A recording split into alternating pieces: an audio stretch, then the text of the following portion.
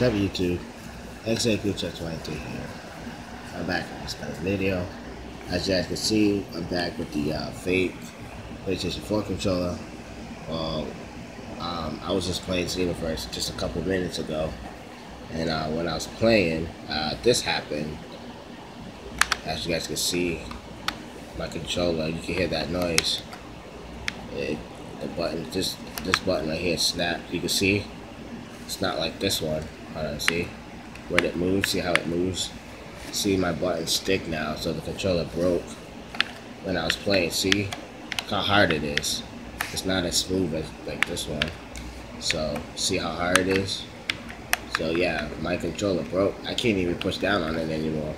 So yeah, my controller broke when I was playing uh, Xenoverse.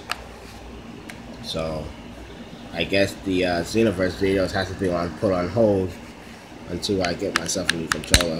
You can you can hear the noise. You hear that shit? That's the sound of a broken controller. But this is what I get myself into when I buy a cheap ass uh, fucking controller.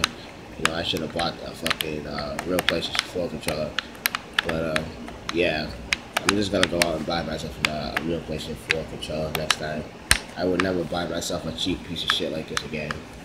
But yeah, lesson learned. But other than that, you guys have a good night.